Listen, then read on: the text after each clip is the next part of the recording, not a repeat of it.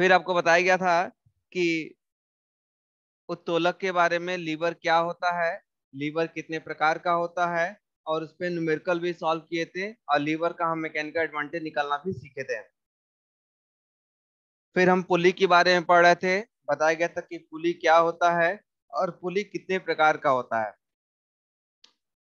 पहले हम पढ़ रहे थे एकल घिरनी सिंगल पुली के बारे में, जहाँ से एक पुली का प्रयोग करते हैं। फिर हमने पुली के निकाय के बारे में पढ़ा। System of pulley system of pulley का मतलब ये होता है, जब किसी जब किसी मशीन में एक से अधिक पुली को आपस में जोड़ दिया जाए और हम वर्क को पावर को ट्रांसफ़र करें, यानी हम इनपुट को दें इनपुट के रूप में हम प्रयास लगाते हैं और भार को उठाएँ तो उसे हम लोग सिस्टम ऑफ़ पुली कहेंगे। यानी पढ़ेंगे हम लोग आज कि घिरनी का निकाय system of pulley system of pulley बहुत इंपॉर्टेंट टॉपिक है। इस पे ज़रूर कुछ ना कुछ आपसे ज़रूर पूछा जाएगा एग्ज़ाम में। सिस्टम ऑफ़ पुली तो सिस्टम ऑफ़ पुली तीन प्रकार का होता है जो हम लोग अपने प्रैक्टिकल लाइफ में यूज़ करते हैं। पहला होता है प्रथम निकाय। फ़र्स्ट सिस्टम ऑफ़ पुली प्रथम निकाय। और दूसरा है द्वितीय निकाय सेकेंड सिस्टम ऑफ़ पुली और तीसरा है तृतीय निकाय थर्ड सिस्टम ऑफ़ पुली तीन पुली होती है फ़र्स्ट सिस्टम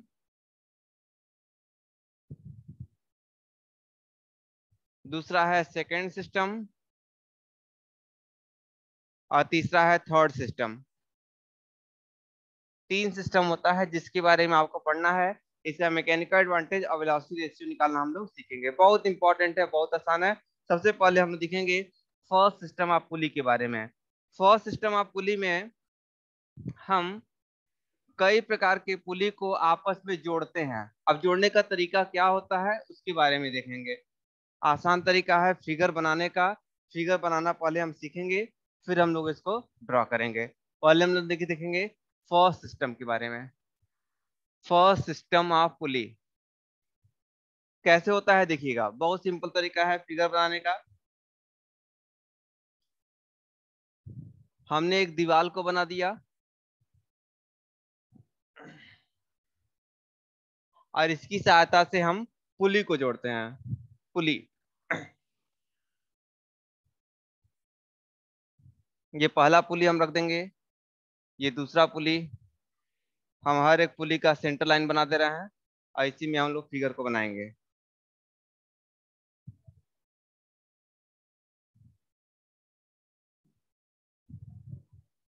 आप पुली की संख्या कितना भी रख सकते हो। ठीक है। ये हमने पाँच बना दिया, यानी हम पाँच पुली को रखना चाहते हैं। सबसे पहला जो पुली होगा, आपको करना क्या है? यहाँ पर एक सर्किल बना देना है। यह जो सर्किल होगा यह पुली को, पहले पुली को प्रदर्शित करता है। ये हॉर्जेंटल में इसका एक्सेस ले लिया। फिर यहाँ पे हम लोग हॉर्जेंटल में सेंटर बना लिए और हमने एक सर्कल बना दिया। ठीक है? सारे सर्किल का साइज़ आप लोग बनाओगे तो कंपास कंपास की सहायता से या मास्टर सर्किल की सहायता से बनाओगे तो सभी सर्किल एक ही साइज़ का बनाइएगा ताकि आसानी रहे। फिर यहाँ पे एक पुली बना दिया। इधर एक पुली हो गया। ये सेंटर बनाया और हमने यहाँ पर एक पुली बना दिया। जो पहला पुली हम दिखाएँगे, उस पुली को हम फिक्स कर देंगे। इस पुली को हम लोग फिक्स कर देते हैं। ये पुली हमारा फिक्स हो गया। इसको हम लोग बोलेंगे क्या? अचल पुली। अचल पुली, घिरनी। फिक्स्ड पुली, यानी ये अपने जगह पे फिक्स रहेगा। बाकी जो पुली है वो ऊपर की तरफ़ गति करेगी या नीचे की तरफ़ गति करेगी, लेकिन जो पहला पुली है वो आपका फिक्स रहेगा। फिर क्या करेंगे? यहाँ पर हम एक रस्सी लेंगे और उस रस्सी से इसको जोड़ेंगे। कैसे जोड़ते हैं देखिएगा। हमने एक रस्सी लिया ये रस्सी इसके ऊपर पास हुआ, अब फिर यहाँ पे आकर के मिल गया। फिर यही रस्सी इधर जाएगा। ठीक है? और इसको जाकर के एक रस्सी से हमने ऐसे जोड़ दिया। यानी ये एक रस्सी है। एक रस्सी हमने लिया, इसके साथ इस दो पुली को आपस में जोड़ दिया। फिर क्या करेंगे? फिर हम दूसरी रस्सी लेंगे। ये रस्सी हो गया, इसको हमने यहाँ पे जोड़ दिया। ये रस्सी कैसे पास हो रहा है? यहाँ से रस्सी गया है, इसके सरफेस के ऊपर और सीधे ऊपर जाकर के हमने इसको जोड़ दिया। फिर हम तीसरी रस्सी को लेंगे, ये रस्सी इधर जोड़ दिया और इसको ऊपर से ले जाकर के हमने जोड़ दिया है। फिर हम एक रस्सी लेंगे, इसको हम इधर जोड़ देंगे और ये इधर जोड़ दिया। एकदम सिंपल तरीका है, आप इसको बना सकते हो। बहुत ही आसान तरीके से हमने सिस्टम ऑफ़ पुली को बना दिया। ये पुली हो गया वन ये टू थ्री, फोर, फाइव। ये पाँच पुली हम लगा चुके, लगाए हैं। पुली की संख्या को आप चेंज भी कर सकते हैं, अलग भी कर सकते हैं। आपको करना क्या होता है? पुली की सहायता से हम किसी वस्तु के लोड को उठाते हैं। हम यहाँ पे लोड को उठाएँगे।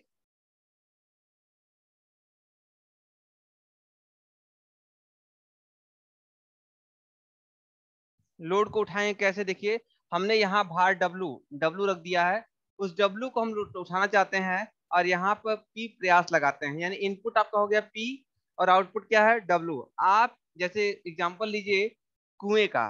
कुएँ में आप पानी को उठाते हैं तो पानी का जो भार होगा वो हमने डब्लू ले लिया है और उस पानी को उठाने के लिए जितना हम इनपुट फोर्स लगाते हैं वो आपका हो जाएगा पी यानी पी और डब्लू दो के केस को हम देखते हैं। पी इनपुट के रूप में देते हैं और डब्लू जो होगा वो आउटपुट होगा, यानी उतना ही भार हमारा उठेगा।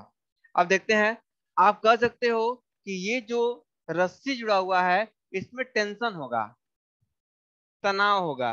रस्सी में कभी भी कंप्रेशन नहीं हो सकता। देखिए, एक रस्सी है, रस्सी को आप खींच सकते हो, लेकिन क्या कभी रस्सी को आप दबा सकते हो? नहीं।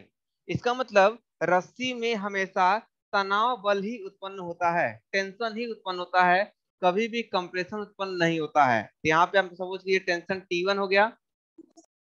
दूसरा वाला पुली है, इसमें भी टेंशन होगा, उसको हमने लिख दिया T2 तीसरा पुली है, इसमें टेंशन होगा टी टी थ्री रस्सी एक ही है तो एक ही टेंशन ये हो गया टी फोर इधर भी टी फोर ये भी आपका हो जाएगा टी फोर देखिए, चूँकि ये एक ही रस्सी लगा हुआ है तो इसका टेंशन जो होगा, वो एक बराबर होगा टी फोर हो गया। तो हम लोग कहेंगे क्या? यहाँ पे आप देख सकते हो कि पुली की संख्या कितनी है? पाँच।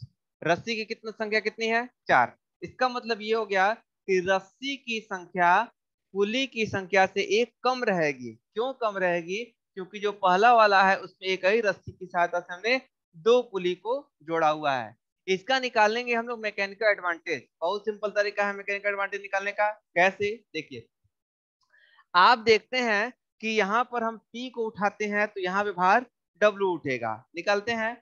पी को आप खींचिए। जब आप इसको नीचे की तरफ़ खींचेंगे तो आप कहेंगे, ये जो पुली होगा, ऊपर की तरफ़ जाएगा। जो ये पहली पुली है, ये तो फिक्स है। लेकिन बाकी जो चार पुलियाँ हैं, ये ऊपर या नीचे की तरफ़ गति करेगी। इसीलिए उसको बोलते हैं चल पुली मूवेबल पुली। आप यहाँ पर पी फोर्स लगाते हैं और यहाँ से आप भार डब्ल्यू को उठाते हैं। देखते हैं। हमें निकालना क्या है? हमें निकालना है वेलोसिटी रेशियो, वेग अनुपात। वेलोसिटी रेशियो होता क्या है? वेलोसिटी रेशियो इक्वल टू होता है प्रयास का विस्थापन, प्रयास, यानी एफर्ट प्रयास का विस्थापन बटे भार का विस्थापन। ये फार्मूला होता है। प्रयास का विस्थापन बटे भार का विस्थापन। अब देखेंगे प्रयास का विस्थापन कितना होगा, भार का विस्थापन कितना होगा? सपोज़ कीजिए आप यहाँ पर P जब W लोड को उठाते हैं जब यहाँ पे P प्रयास लगाते हैं तो ये W वाला जो होता है, वो यक्ष दूरी चलता है। ध्यान से सुनेंगे। ये यक्ष दूरी चलेगा तो ये वाला देखिए, यदि ये यहाँ से उठ करके यक्ष दूरी ऊपर चला जाए तो ये वाला और ऊपर जाएगा, ये वाला और ऊपर जाएगा, ये वाला और ऊपर जाएगा। इसका मतलब ये यक्ष चलेगा तो इसी के पहले तो ये दूरी, ये यक्ष चलेगा तो इसकी जो दूरी होगी, ये भी ऊपर जाएगा तो ये टू यक्स हो जाएगा। और ये क्या होगा? ये इसका दो गुना हो जाएगा, ये इसका दो गुना हो जाएगा, ये इसका दो गुना हो जाएगा। इसका मतलब ये हो गया कि प्रयास जो चलता है, ये दो गुने में चलता है। सपोज़ करेंगे कि यदि पुली की संख्या यन हो, पुली की संख्या यन हो, जैसे यहाँ पे आपने कहा, यदि ये दूरी यक्स चलेगा तो ये कितना चलेगा? ये टू यक्स चलेगा। ये कितना चलेगा तब? टू इंटू टू यक्स चलेगा। और ये कितना चलेगा? Two into two into two x यानी इसी का दुगुना, इसका दूना इसका दूना इसका दूना ये दूना डिस्टेंस चलते जाएँगे।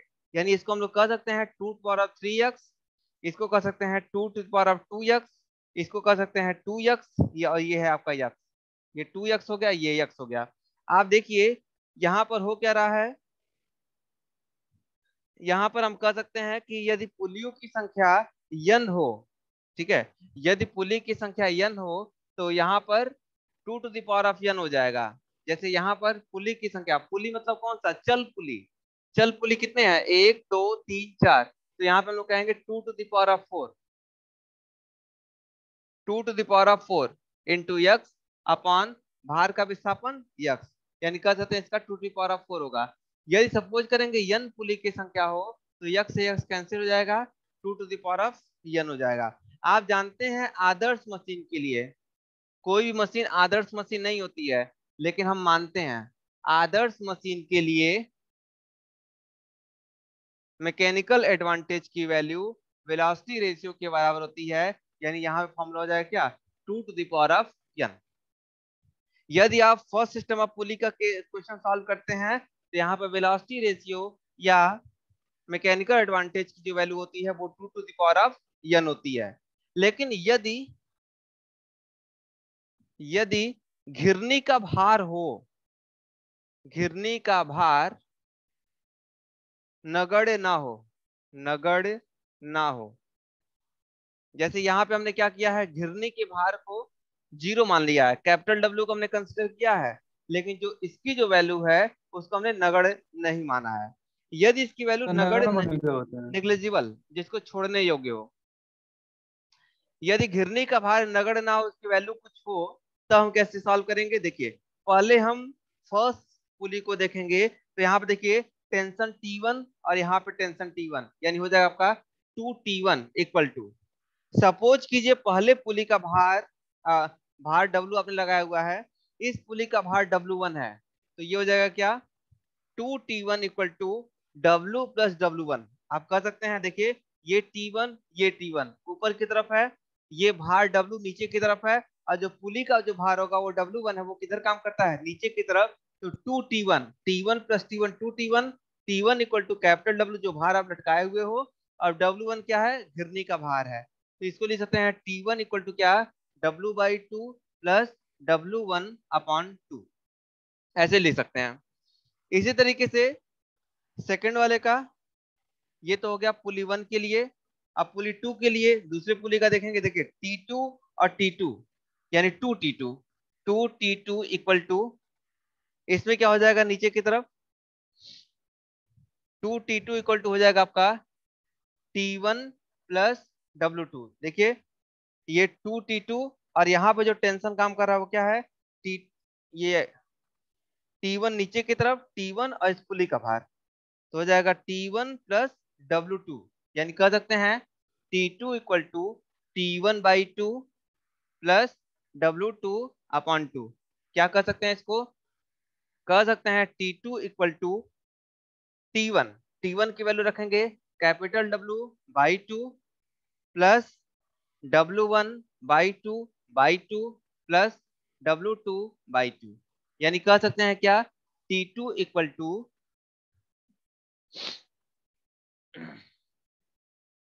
T two equal to हो जाएगा डब्ल्यू अपॉन टू का square plus W one upon two का square plus W two upon two इसमें एक कंक्लूजन आ रहा है। कंक्लूजन क्या आ रहा है? ऐसे ही सपोज़ को T three T four T five ऐसे निकालते जाएँगे। इसी प्रकार इसी प्रकार टी एन टी एन का मतलब क्या हो गया? यदि पुली की संख्या यन हो, यदि पुली की संख्या यन हो, तब कैसे सॉल्व करेंगे? तो टी एन इक्वल टू हो जाएगा, देखिए, यहाँ पर टी टू था, यहाँ टू का स्क्वायर तो यहाँ जाएगा two two power of N plus यहाँ टू था, यहाँ पे टू यानी W one by two two power of N plus W two यहाँ पे देखिए, यहाँ पर टी टू है, यानी टू है तो यहाँ पर टू का पावर कितना है? वन का है। तो यहाँ हो जाएगा two two power of N minus one हो जाएगा plus W three upon two two power of N minus two plus S so on. ये जाएगा कहाँ तक? ये जाएगा आपका डब्ल्यू एन अपॉन टू तक जाएगा। ठीक है डब्ल्यू एन अपॉन टू तक जाएगा। अब इसको हम लोग सॉल्व करेंगे। सॉल्व कैसे करेंगे? देखिए, टी एन इक्वल टू, यदि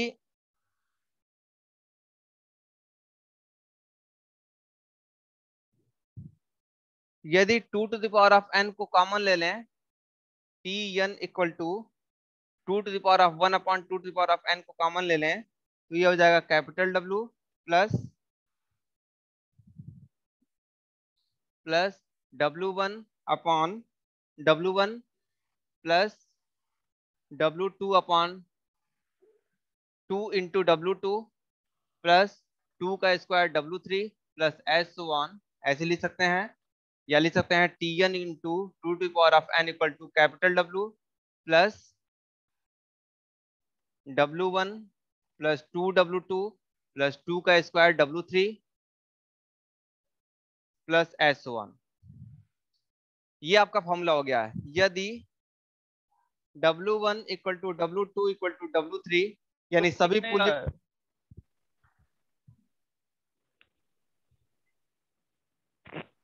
यदि सपोज़ कीजिए कि सभी पुली का भार बराबर है तो हो जाएगा T N into two two power of N equal to capital W plus W plus two W plus two का square W plus S one या कह सकते हैं T N into two two power of N equal to capital W plus small W को common लेंगे, ये हो जाएगा one plus two plus two का स्क्वायर प्लस एस वन और लास्ट में आपका क्या होगा? Two two power of N होगा। आप देख सकते हो कि ये आपका जीपी में है। मैथमेटिक्स आप लोगों ने पढ़ा होगा एपी जीपी का फॉर्मूला तो इसको हम लोग कर देते हैं जीपी में। तो आप जानते होंगे यस एन इक्वल टू होता है क्या?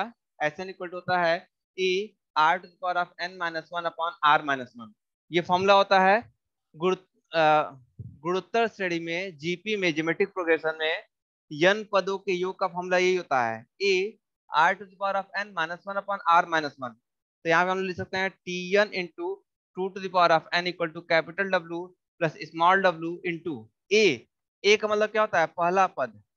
वो वन हो जाएगा। आर आर क्या होता है? दोनों का अनुपात टू अपॉन वन टू हो जाएगा।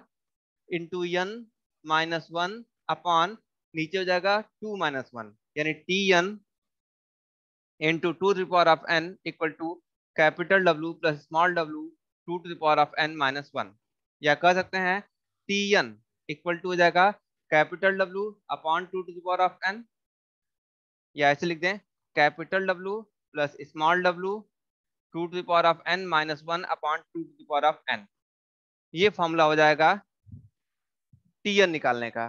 टी एन का मतलब क्या हो गया? टेंशन हो गया, तनाव हो गया। और यहाँ पर जो तनाव की जो वैल्यू होगी टी की वैल्यू वो पी के बराबर हो गई। तो हम निकालेंगे mechanical advantage mechanical advantage equal to क्या होता है? डब्ल्यू बाई पी तो डब्ल्यू की value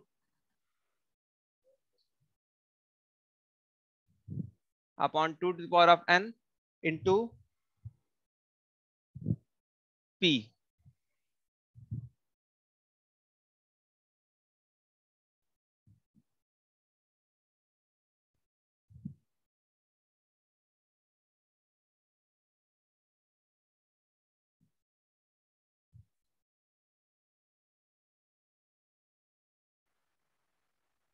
घिरनियों की संख्या चार है। कुल घिरनियों की संख्या चार है तो इसमें जो एक तो फिक्स होगा, और बाकी तीन क्या होंगे? मूवेबल होंगे। एक अचल पुली होगा, और बाकी तीन क्या होंगे? चल पुली होंगे। आपको याद होगा। एक पिंड जिसका भार 640 न्यूटन है, उसे 128 न्यूटन के प्रयास द्वारा संतुलित करता है। इसकी दक्षता निकालना है और घर्षण निकालना है। निकालते हैं। पहले हम वेलोसिटी रेशियो निकालेंगे। आपको पता है कि घिरनियों के प्रथम निकाय में जो वेलोसिटी रेशियो होता है, वो two two power of N होता है। Two two power of N कब होगा? जब पुली के भार को कंसिडर ना किया जाए। लेकिन जब पुली के भार को कंसिडर करेंगे, तब फॉर्मूला हमारा जाएगा W into two two power of N upon capital W plus small w two two power of N minus one ये फॉर्मूला हो जाता है मैकेनिकल एडवांटेज का। यहाँ पे हम देखेंगे होता है। तो two two power of N N क्या होती है? गतिशील पुलियों की संख्या, याद रखेंगे। कुल पुलियों की संख्या नहीं, गतिशील। तो इसमें गतिशील कितने होंगे? तीन होंगे। तो यहाँ जाएगा two two power of three यानी एट ये हो गया हमारा वेलोसिटी रेशियो इक्वल टू आठ। ये आ गया। अब निकालना हमें mechanical advantage mechanical advantage equal to होता है डब्ल्यू बाई पी तो डब्ल्यू डब्ल्यू की वैल्यू को निकालेंगे। डब्ल्यू की वैल्यू देखिए दिया है छह सौ चालीस न्यूटन भार देखिए दिया हुआ है। एक पिंड जिसका भार 640 न्यूटन है, उसे 128 न्यूटन के प्रयास द्वारा संतुलित किया जाता है। तो 100 640 बसे, बटे 128 ये हमारा मैकेनिकल एडवांटेज निकल गया। इसको हम लोग सॉल्व करेंगे। तो इसकी वैल्यू आ रही है पाँच। ये मैकेनिकल एडवांटेज हो गया। ध्यान दीजिएगा, जब आदर्श मशीन होती है तो वेलोसिटी रेशियो की वैल्यू मैकेनिकल एडवांटेज के बराबर होता है, क्योंकि इफिशियंसी कितनी होती है? सौ परसेंट। यह आदर्श मशीन नहीं है, क्योंकि इसमें घर्षण हो रहा है, नुकसान हो रहा है कुछ। और इसमें दक्षता पूछा है मतलब यह आदर्श मशीन नहीं होगा। अब निकालेंगे दक्षता। दक्षता किस लिखते हैं? ईटा से। होता क्या है? Mechanical advantage upon velocity ratio और सौ से गुणा कर देंगे तो ये जो दक्षता आएगी, ये परसेंटेज में आ जाएगी। ये हो जाएगा मैकेनिकल एडवांटेज कितना है? पाँच। वेलोसिटी रेशियो कितना है? आठ। सौ से गुणा कर देंगे, इसको सॉल्व करेंगे इफिशियंसी आ गई इफिशियंसी को हम लोग कह सकते हैं कि equal to sixty two point five percent आपको बताया गया था कि मशीन को जब क्लासिफाई करते हैं तो मशीन तीन प्रकार के। कौन कौन सी? पहला है आदर्श मशीन, जिसकी इफिशियंसी सौ परसेंट होती है। जिसकी इफिशियंसी सौ परसेंट होती है। और दूसरा होता है रिवर्सिबल मशीन जिसकी इफिशियंसी पचास परसेंट से लेकर के सौ परसेंट के बीच में होती है। और तीसरी होती है, तीसरी होती है सेल्फ लॉकिंग मशीन जिसकी इफिशियंसी 50 परसेंट से कम होती है। यदि पूछा जाए, बताइए किस टाइप की मशीन है तो आप बोलोगे यह रिवर्सिबल मशीन होगी, क्योंकि इसकी इफिशियंसी 50 परसेंट से लेकर के सौ परसेंट के बीच में आ रही है। ये एफिशिएंसी निकाल लिया। अब क्या निकालना है? घर्षण। घर्षण में जो हानि होता है, उसका फॉर्मूला आपको बताया गया था। P minus W upon velocity ratio P minus W upon velocity ratio ये फॉर्मूला आपको बताया गया था। तो पी एफ़ यानी effort loss due to friction घर्षण के कारण, घर्षण के कारण प्रयास में नुकसान। तो P माइनस P की वैल्यू कितना है? P की वैल्यू आप दे सकते हो 128 न्यूटन है। माइनस W, भार कितना है? 640 upon velocity ratio velocity ratio कितना है? आठ। सॉल्व करेंगे। तो हो जाएगा पी एफ़ इक्वल टू एक सौ अट्ठाईस माइनस अस्सी। सॉल्व करेंगे। ये हो गया आपका 48 न्यूटन। ये हो गया effort loss due to friction